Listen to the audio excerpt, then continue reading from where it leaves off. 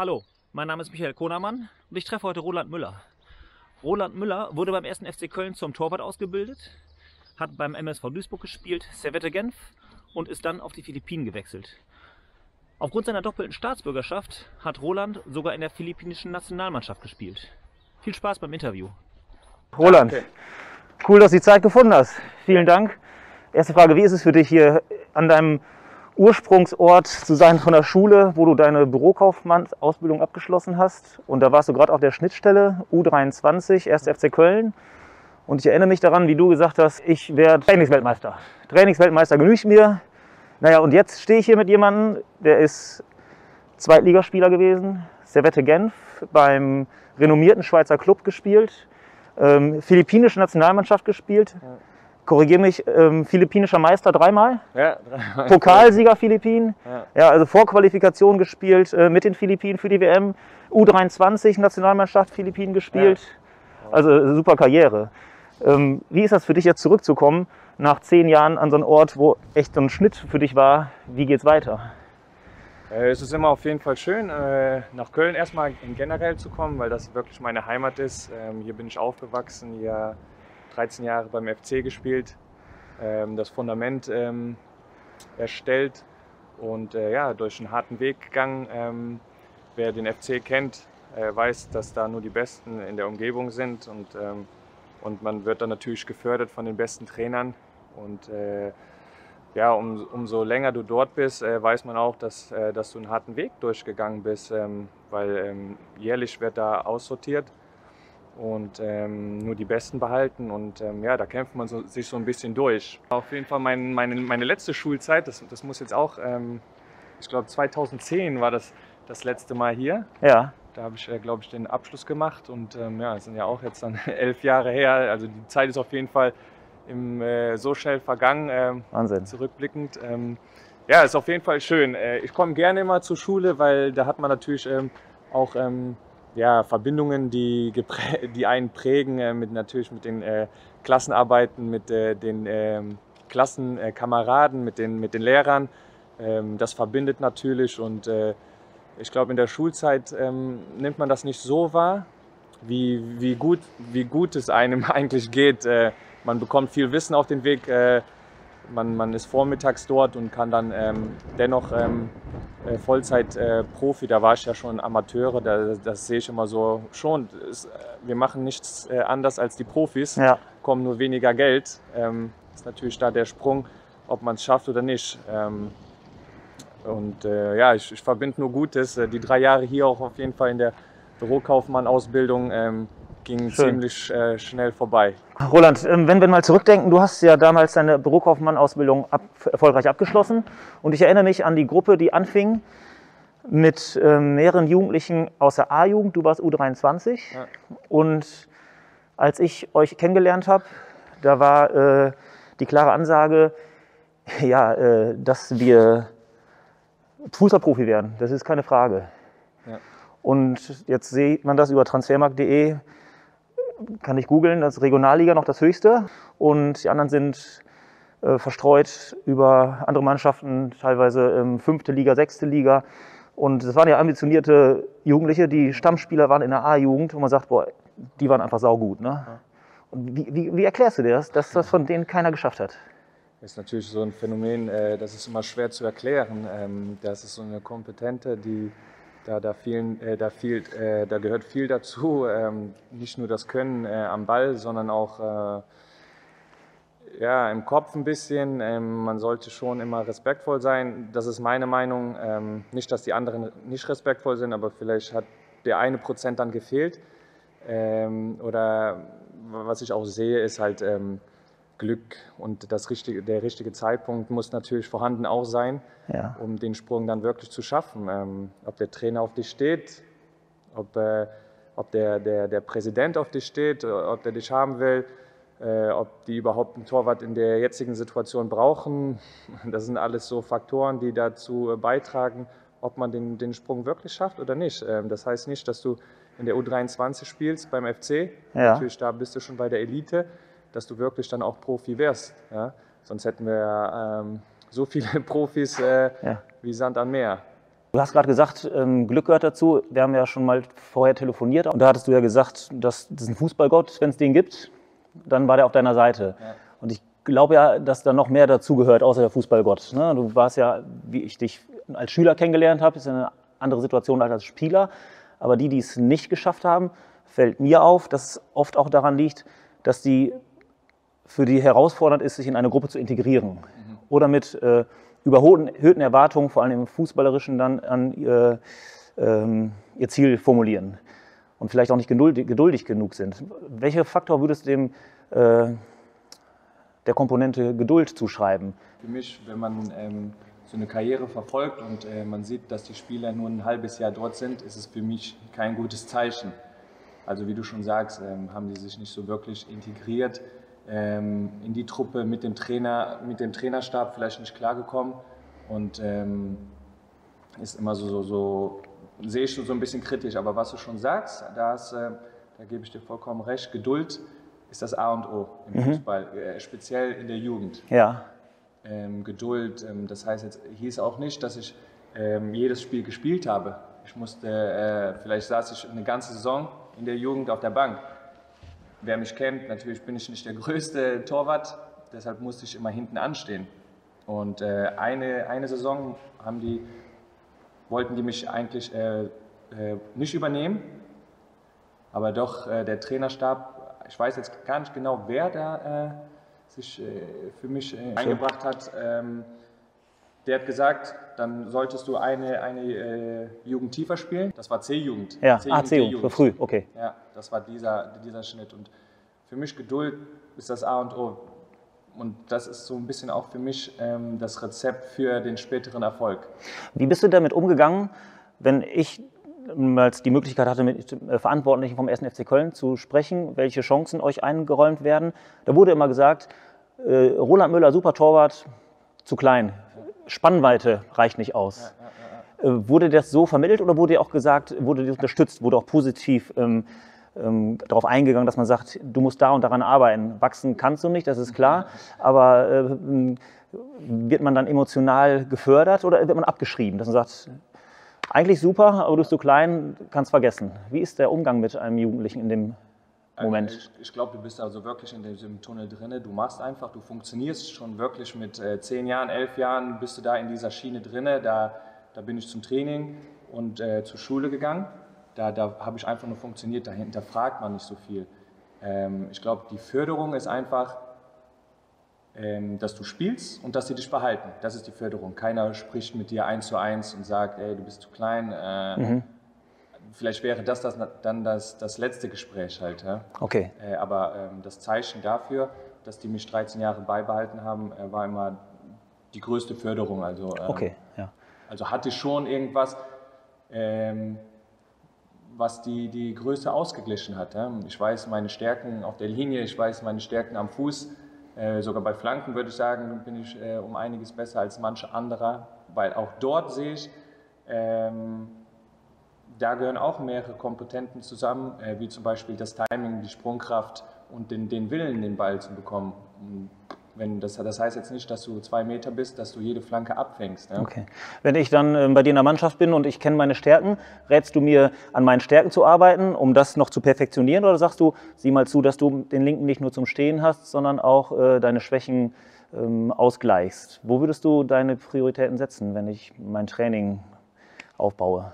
Also ich, wie, schon äh, am Anfang gesagt, ähm, bei, beim FC hast du schon die besten Trainer. Wenn, wir haben jetzt nie so wirklich an meiner Schwäche äh, trainiert, sondern okay. einfach im Allgemeinen. Und äh, vielleicht haben wir es so kaschiert, dass, dass, dass ich dennoch vielleicht meine äh, ja, Fehler äh, doch so ein bisschen korrigieren konnte. Aber wie du schon sagst, äh, die Größe kann man, da, da, da, wird schwer, ähm, ja. das, das zu, trainieren. Ne? Und du hast ja die Lügen gestraft, die gesagt haben, dass es nicht geht mit der Größe. Ja, ja. Ist ja Fakt. Ja, ja. Das war auch der größte Ansporn, so ein bisschen innerlich, mhm. vielleicht so jetzt zurückblickend, mhm. ähm, dass ich viele verstummen, äh, verstummen ließ und äh, äh, von den Eltern bis hin zu Coach, Coaches, äh, Co-Trainern ja. Äh, oder Torwarttrainern, die ähm, man kann keinem jedem alles äh, recht machen. Ja. Ähm, dir gefällt mein Style oder nicht und ähm, das ist so auch, was du auch mit deiner, mit deinem Alter so ein bisschen lernst. Du sollst nicht alle, äh, du sollst nicht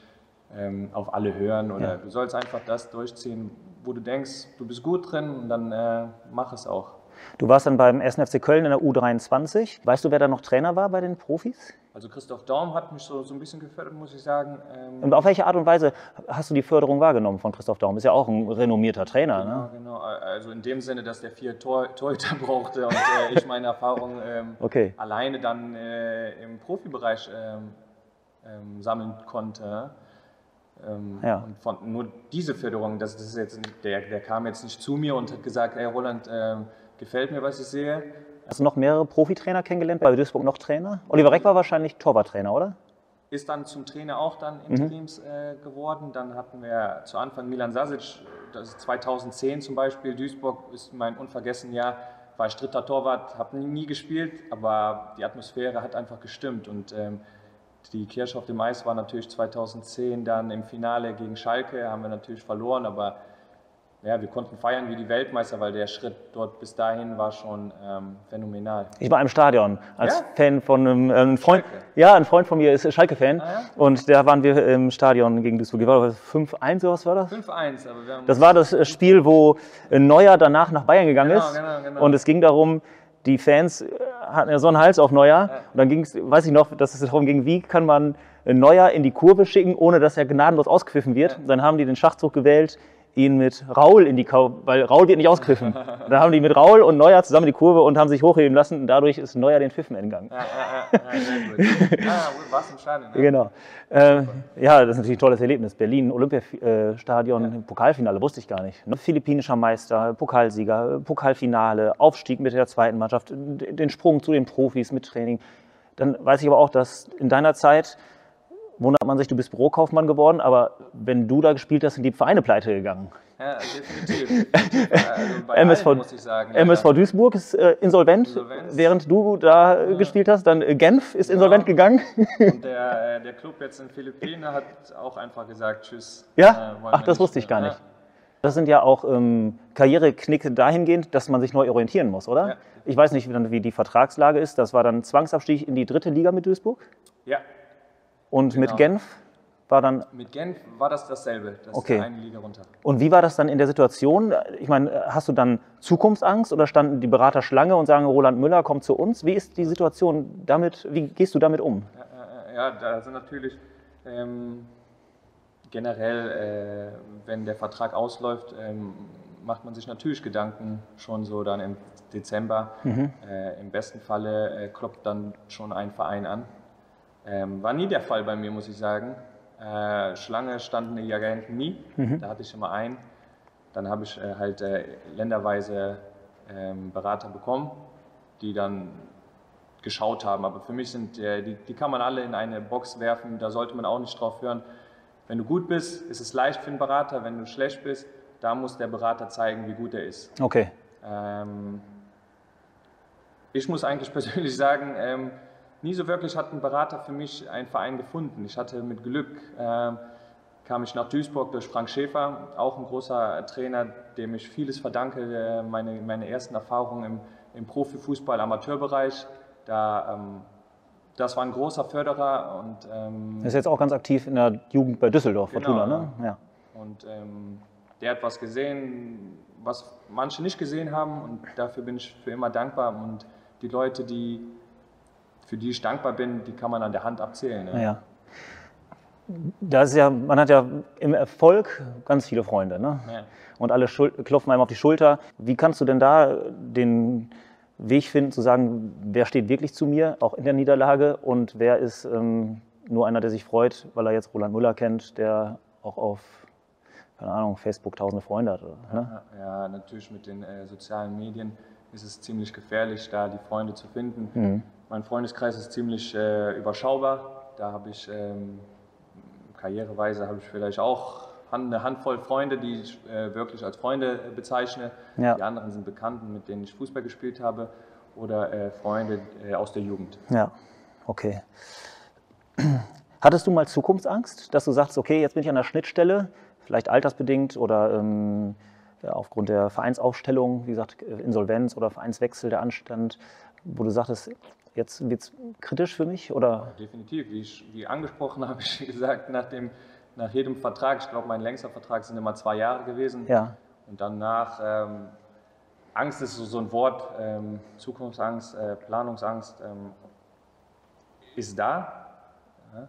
Ähm, aber ähm, man ha hat immer das Gefühl, dass man eine Lösung findet, weil man irgendwie auf seine Qualität ähm, weiß, dass es noch weitergeht. Jetzt ist so, so ein bisschen die Schnittstelle, wo ich auch ähm, überlege, was nach dem Fußball.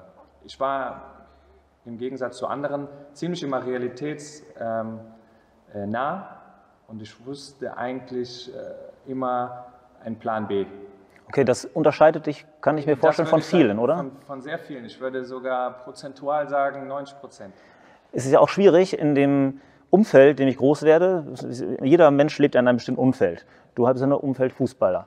Da ist es oft so, dass für die kurze Zeit vielleicht auch relativ viel Geld verdient wird. Und wenn ich viel Geld zur Verfügung habe als junger Mensch, ist es für mich auch nachvollziehbar, dass man aufgrund von Statussymbolen sich vielleicht definiert und das erst mit dem fortgeschrittenen Alter merkt, das ist eigentlich gar nicht mein Leben. Ja. Und wenn du sagst, du hast das ganz gut geschafft, den ähm, Plan B oder einen Parallelweg ähm, zu verfolgen, wie wird man denn im Fußball behandelt oder wie ist, äh, wird das akzeptiert, wenn man sich ein bisschen anders orientiert oder ist man da auch schnell ein Außenseiter?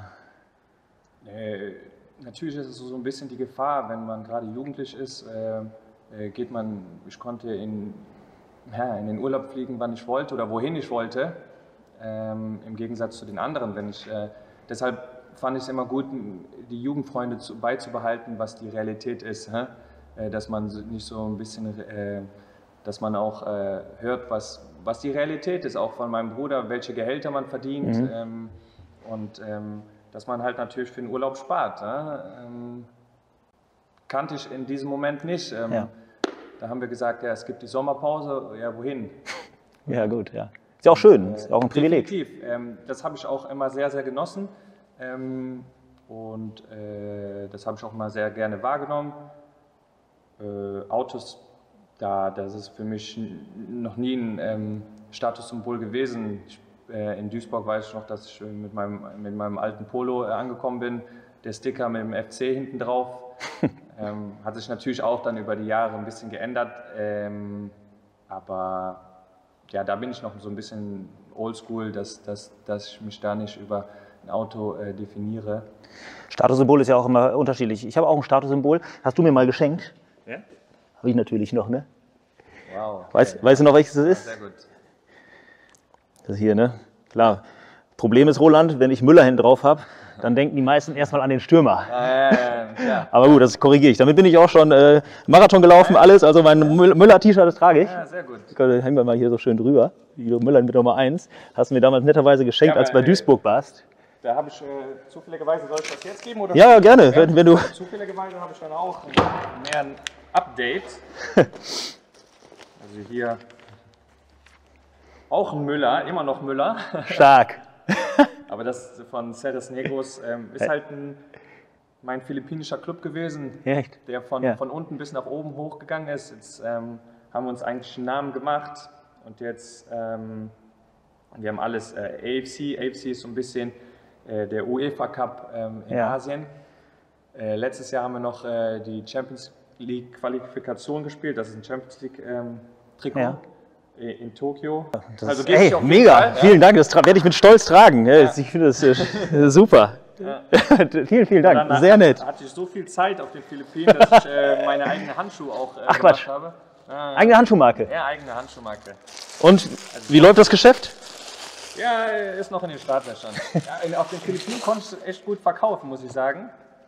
Ähm, ich bin jetzt 45, bestes Torwartalter, oder? Ja, ja, ja.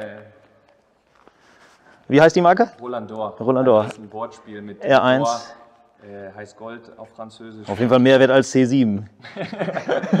das ist unser Ziel. Vielen Dank, das ist sehr nett von dir. Ja. Dankeschön. Du sprichst an Philippinen, ne? Ja. Deine Mutter ist Philippinin, richtig? Ja, genau. Und damit hast du zwei Staatsbürgerschaften oder wie war das dann? Ich bin Philippinen, ich habe beide. Also beide Staatsbürgerschaften. Und korrigiere mich, wenn ich es äh, falsch sage. Ich habe in Erinnerung, dass du damals schon angesprochen wurdest von den Philippinen. Ja Aber ich glaube, da war noch das Problem der Reisekosten auch, ne? oder? Genau, genau. Äh, das, dass die gesagt haben, dass ähm, ich erstmal in Vorkasse gehen sollte. Und ähm, da habe ich schon von Stefan Schröck so ein bisschen mitbekommen, dass ich das nicht machen sollte. Ah ja. Und ähm, ja, aber das hat sich alles gelegt. Die sind alles, das sind alles jetzt professionelle, wie man in Philippinen sein kann. Nee, genau. Äh, aber die, die Kosten haben, wurden alle übernommen. Ähm, Hotels waren tiptop. Äh, da konnte ich nie, nie mich beschweren. Und äh, wenn du dich natürlich auf die Philippinen so ein bisschen einlässt, weißt du, dass, dass da nicht alles ähm, in Ordnung geht. Dass man ein bisschen einstecken muss, aber das bringt dich auch zum Lachen und äh, deshalb machst du das auch. Äh, ich hab, bereue keine Sekunde ähm, mit, den, mit der philippinischen Nationalmannschaft oder ich habe jetzt auch vier Jahre äh, auf den, in Manila gewohnt. Ja. Habe sogar meine Frau und mein, mein Kind mitgenommen. Mhm. Ähm, ich würde sagen, mein Verdienst äh, für die harten Jahre, die ich trainiert habe, konnte ich dann auf den Philippinen mich ähm, äh, schön äh, den Fußball auch genießen. Ja, super. Darauf möchte ich auch hinaus, dass du sagst, du die Fußballausbildung in Köln genossen, bist dann MSV Duisburg, ähm, sieben Zweitligaspiele? Sieben. Genau. Auch da ist ja immer eine gewisse Suffisanz spielte damit, wenn die Kommentatoren in der Sportschau gesagt haben, äh, äh, Duisburgs einziger Nationalspieler, äh, Roland Müller, der bei den Philippinen spielt. Kannst du mal erzählen, wie das ist, der Kulturschock vielleicht schon? Weil ich habe Erinnerung, dass du auch nicht in jugendlichen Jahren, warst glaube ich nie in den Philippinen, nee, oder? Das erste Mal war, äh, war ich 2011 mit meiner Mutter bin ich hingeflogen, habe mir auch den Pass machen lassen ähm, und dann ähm, bin ich, äh, konnte ich für die Nationalmannschaft spielen. Ich glaube 2011, Oktober äh, war mein, mein, mein Debüt. Mhm äh, in Taiwan, gegen, da war so, so ein Turnier mit äh, Hongkong, Taiwan und äh, Macau. Mhm. Ähm, sind dann nur Zweiter geworden, aber das war auch schon so ein großer Erfolg. Ähm, dann haben wir halt auch Turniere auf den Malediven gespielt, äh, wo du gegen Afghanistan spielst. Das war ein, eine Qualifikation für die Asienmeisterschaft 2015. Mhm. Also 2015 die Qualifikation für die, auf den Malediven und Ja. dann war dann Asien wahrscheinlich 2016. Und äh, Riesenturnier, äh, werde das nie vergessen. Äh, schon das Ambiente auf den Malediven, du bist auf der Insel und äh, Ja, cool. fährst dann mit den Schiffen zu, zu Male und äh, spielst dein Spiel da. Ja. Ähm, ja, beste Zeit, würde ich einfach sagen. Ähm, Okay. und äh, mit dem Lachen, wirklich mit einem großen Lächeln, äh, schaue ich gerne zurück. Das ist ein echter Straßenhund, ne? Askal? Askal ist richtig, Ja, ne? Askal. Die philippinische Nationalmannschaft wird Askal genannt oder nennen sich die Askals, Ja. weil in Philippinen viele Straßenhunde sind und dann dieses Durchbeißen oder woher kommt das? Ich denke mal, kommt gut hin. Ja. Ähm, Und ähm, das war wirklich, ja, ich glaube, das ist so eine gute Metapher dafür, dass es äh, für die kämpferische äh, Leistung steht, äh, dass die sich durchbeißen, auch durch harte Zeiten. Hm. Viel Armut, glaube ich auch. Ja. Ja. und er leidet auch unter Naturkatastrophen zum Teil. Ja, ne? traurig, aber wahr. Ja, und äh, haben die Menschen oft andere Probleme als wir. Und äh, wenn ich so Jugendliche in ihrer Fußballausbildung beobachte, dann merke ich oft, dass der Anspruch sehr hoch ist. Ja? Und gerade beim 1. FC Köln ist, glaube ich, ein großes Angebot an Betreuung. Ich glaube, da gibt es wenig zu bemängeln. Wusstest du das in Jugendjahren zu schätzen, was du in der Ausbildung beim 1. FC Köln genießt, oder war das eine Selbstverständlichkeit? Und wie war das, ist es für dich rückblickend, das zu sehen, wenn du siehst, was in einem Land wie Philippinen, ich gehe davon aus, dass die Jugendförderung im Fußball eine andere ist. Ja, definitiv. Äh, ja, ich, ich habe seitdem ich zehn bin äh, beim FC gespielt. Wo warst du im, als allererstes? Was war dein erster Verein? Erst FC Köln. Ach, du mit zehn? Talent. Ach, du bist mit zehn angefangen Ja. erst.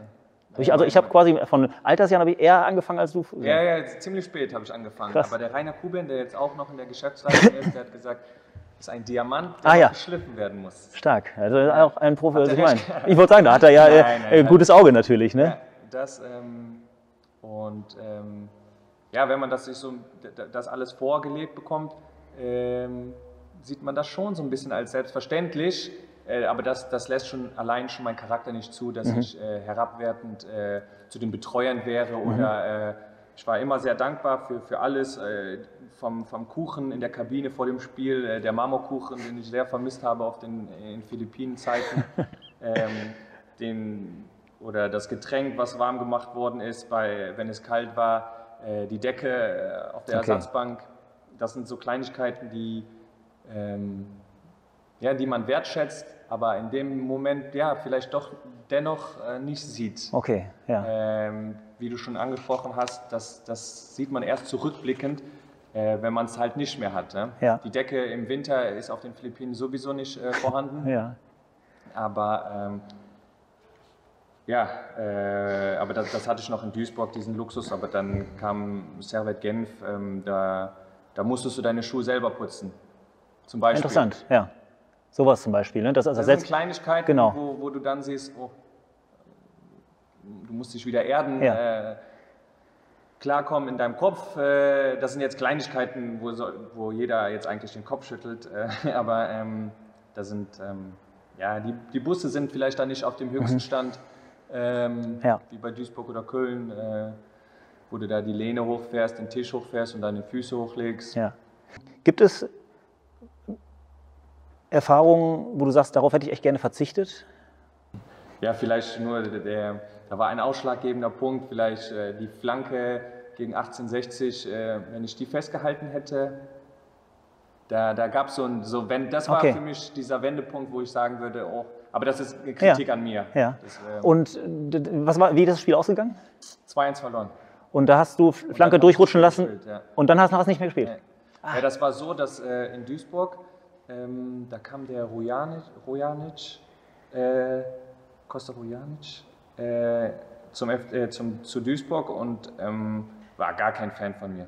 Gar kein Fan. Null. Ja. Das hat, der hatte mich auch spüren lassen. Er hat gar nicht mit mir geredet, äh, noch nicht mal einen Augenkontakt.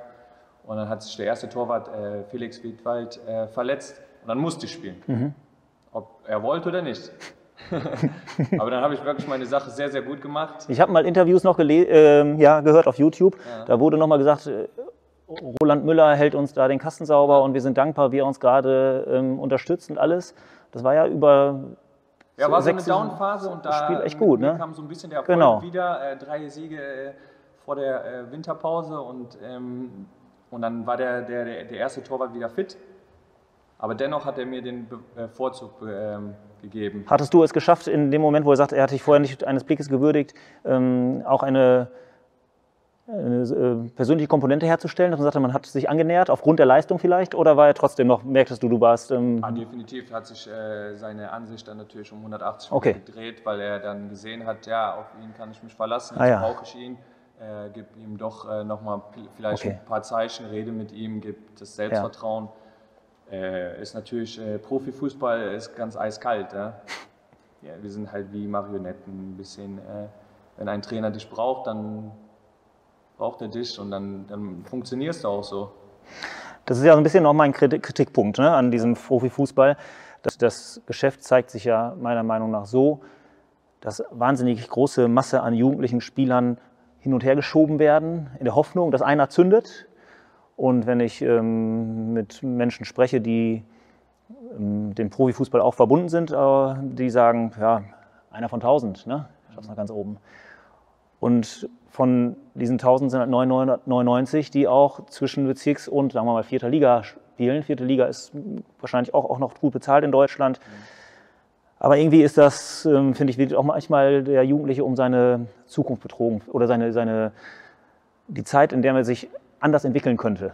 Ja? Also wenn ich jetzt sage, ich spiele in der Regionalliga im unteren Mittelfeld, dann habe ich immer noch Hoffnung, vielleicht kommt ja ein Drittligist auf mich zu. Aber eigentlich, wenn ich 23, 24 bin, ist das vorbei. Ja. Und trotzdem glauben viele und hoffen noch daran. Und dann ist das Geld so, dass ich über die Runden komme mit äh, Regionalliga-Einkommen. Und da werfe ich den Vereinen vor, dass sie ähm, das nicht genug unterstützen, dass man sagt, okay, sieh zu, dass du was auf die Beine stellst jetzt. Ne? Also da könnte man meiner Meinung nach gerade in Deutschland mit dem Fußball im Hintergrund, alle sonnen sich immer im Erfolg von Mannschaften und da sind auch Unternehmen, glaube ich, bereit zu sagen, naja, dann machen wir eine Ausbildung statt drei Jahre, sechs Jahre. Ne? Dann arbeitet der halt nur äh, vier Stunden pro Tag. Ne? Aber dann heißt das, dass du auch sechs Jahre in dem Betrieb, äh, in dem Verein dann gebunden wärst. Ist natürlich äh, ziemlich ähm, schwer, das äh, handzuhaben. Ja? Da ist meine Idee, dann nehmen wir deutschlandweit operierende Unternehmen, Rewe, DM und Co. Und die sagen, ob du jetzt in München meine Ausbildung machst oder in Düsseldorf, das ist uns egal. Ne, klar, es ist jetzt ein hehres Ziel, aber meine Frage ist dahingehend, meinst du, die Vereine sollten mehr dafür tun, Jugendliche einen Jugendlichen einen Parallelweg zu beschreiten, weil oft sehe ich, dass sie sagen, ich mache ein, zwei Jahre, konzentriere mich auf den Fußball, aus den zwei Jahren werden vier, aus den vier Jahren werden sechs Jahre und dann sind die 28 und 30 und sagen, so, jetzt wird es knapp. Ich habe zehn Jahre keine Berufserfahrung, ich habe maximal einen Realschulabschluss oder ein Fachabitur. Ja, auf dem Arbeitsmarkt kann ich dann hoffen, dass ich in der Bezirksliga einen Verein finde, der sagt, wenn du bei uns spielst, dann arbeitest du bei mir. Aber selten ist es dann der Beruf, den ich mir auch erwünsche. Ja, definitiv. Ähm fand unser Projekt wirklich gut. Hilft mir jetzt auf jeden Fall auch äh, sehr weiter, weil ich die Chance habe, äh, weiterhin zu studieren, ähm, weil ich davor ja. schon mein, meine Fachhochschulreife hatte. Äh, plus die Ausbildung habe ich die volle Fachhochschulreife. Ähm, ähm, aber du hast schon da recht, äh, das sehe ich auch so ein bisschen äh, kritisch, dass, dass man äh, in Deutschland wird die vierte Liga gut bezahlt wirklich gut. Mhm. Äh, man hat auch für den Momentum hat man eine gute Situation. Man kann äh, schön wohnen, man kann gut essen gehen. Äh, man denkt, wenn man nicht dann äh, bis übermorgen denkt, hat man ein gutes Leben. Ja. Aber was ist danach? Mit 28 kriegst du noch die Kurve, wenn du klar im Kopf bist. Äh, aber dann wird es auch schon schwer. Und meine Erfahrung ist mit 30, die meisten Vereine auch sagen, in der äh, zweiten Mannschaft von den Nachwuchs äh, Mannschaften wollen die keinen mehr, der über 30 ist. Ne? Und auch die unterklassigen Vereine oder die, die, wo die erste Mannschaft in der vierten Liga spielt, die sagen auch mit 30 so eine, so eine Schnittstelle, glaube ich. Ne? Ja, definitiv. Und dann, wenn du dir dann überlegst, wenn du keinen Verein hast, dann ist es ein bisschen zu spät schon. Ne? Mhm. Äh, der, der beste Weg wäre, parallel dann noch zu studieren und äh, parallel zu spielen. Ähm, ansonsten wird es schwer äh, dann musst du dir auf jeden Fall eine, ein Jahr Auszeit ne, nehmen und ähm, schauen, was du machen willst, weil mhm.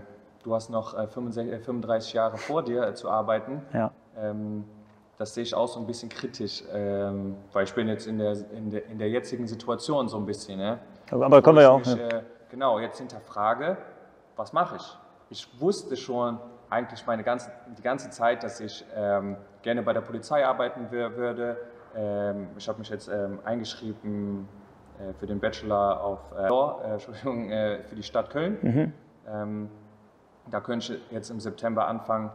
Ähm, aber meine Frau kommt aus der Schweiz, deshalb muss ich das so ein bisschen abwägen. Ähm, ja. Dann natürlich spielt, das ist jetzt ein Luxusproblem. Aber es spricht ja für dich, wie breit du dich jetzt schon wieder aufstellst. Du hast dich dort beworben, dort ja. einen Platz und du hast mir gesagt, du hast wieder in in, in Genf auch schon angefangen, ein Unternehmen aufzubauen. Schwager, mit Schwager. Schwager. Reinigungsfirma, yes. wie ich raushöre, dass da das für die Jugendlichen erforderlich ist, frühzeitig an das zu denken, was kommt. Ne? Definitiv, weil es äh, kommt die Zeit, da wirst du nicht mehr Fußball spielen und da wird das Geld auch nicht mehr ausreichen, dass du deinen Lebensstil äh, weiterführen kannst. Ja. Ne? Äh, ich rate den Jugendlichen, gebt nicht euer Geld für die teuren Sachen aus. Äh, die Louis Vuitton wird ihr nicht auch euer Leben lang tragen ähm, oder die dicke Uhr.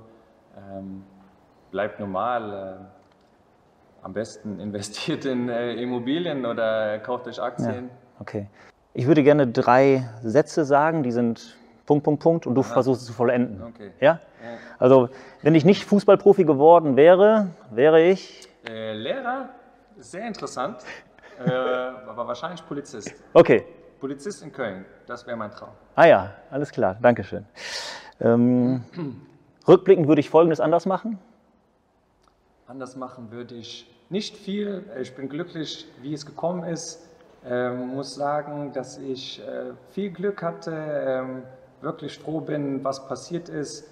Hm, ich würde jeden Schritt eigentlich so machen, bis den heutigen Tag so machen, wie ich den gemacht habe. Ja, das Besseres gibt es ja gar nicht rückblickend. Ne? Ja, ja, ja. Und dann habe ich noch ähm, drei Dinge, die mir wichtig sind.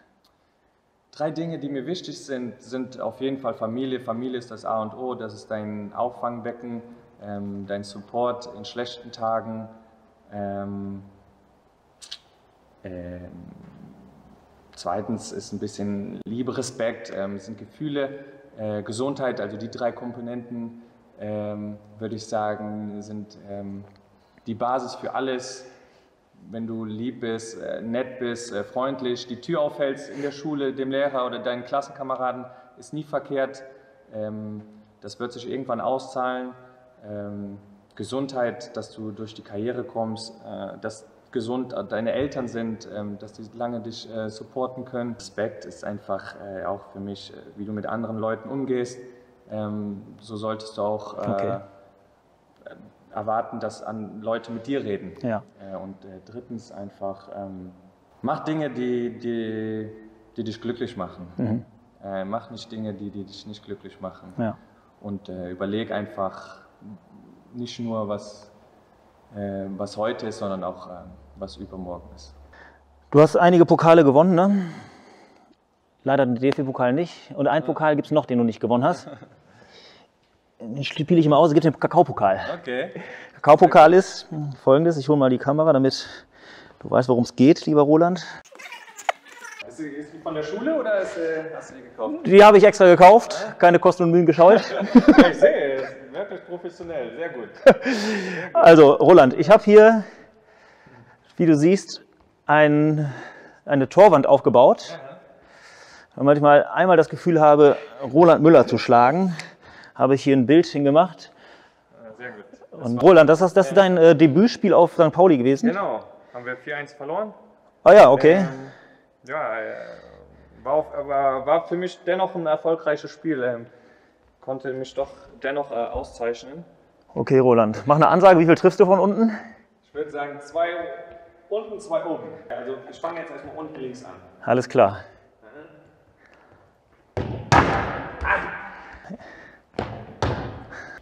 Ist nicht so einfach, muss ich sagen. So, drei unten hast du gemacht, ne? Drei unten habe ich leider gemacht. So, es geht um den Kakaopokal, ne? So viel zu mentaler Stärke. Den Druck hältst du gerade nicht stirnt, kann das sein? Ich glaube, der Ball ist größer als das Loch. Wenn du nochmal Interviews wirst und eine deiner größten Niederlagen, wünsche ich mir, dass du sagst, der Kakaopokal hier verloren habe.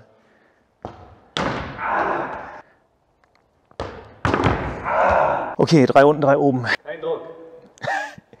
Das ist schon wieder Druck, der kein Druck. Oh.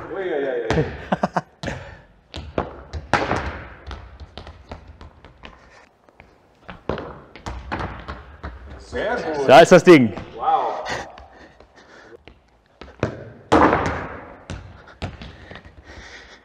Das ist übrigens der erste Kakaopokal, der ausgespielt wird.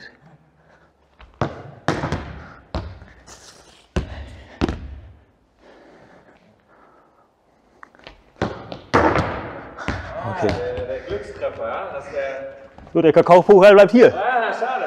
Roland, also vielen Dank. Ja. Ich weiß nicht, ob du dich daran erinnerst, als das, ähm, es gab ein Interview mit, mit Olli Kahn. Ja. Der wurde dann nach einer Niederlage gefragt, äh, was hat der Mannschaft gefehlt? Was, was brauchen die? Und Olli Kahn, äh, aufbrausend und voller, voller Energie. Ich weiß nicht, kennst du dieses legendäre Interview? Ja, und, Was äh, braucht er? Eier. Eier brauchen wir. Eier. Wir brauchen Eier. Und wir haben zu Hause Hühner. Aha. Das sind frische Eier, wirklich. gut? Die sind da letzte Woche gelegt. Ah, Deswegen, wenn Olli Kahn sagt, wir brauchen Eier, dann schenke ich dir Wow. vier frisch gelegte Eier aus Köln Ja, als sehr gut. großen Dank, Dank, dass du danke. heute gekommen bist. Ja. Roland, Vielen lieben Dank, danke für das Interview. viel Erfolg weiterhin bei deinem Ja. weiteren Lebensweg, ne? dass ähm, du es so toll gestaltest und vielen Dank, dass du da heute alles und berichtet hast. Hat mir Spaß gemacht auf jeden Fall. Danke. Teilen.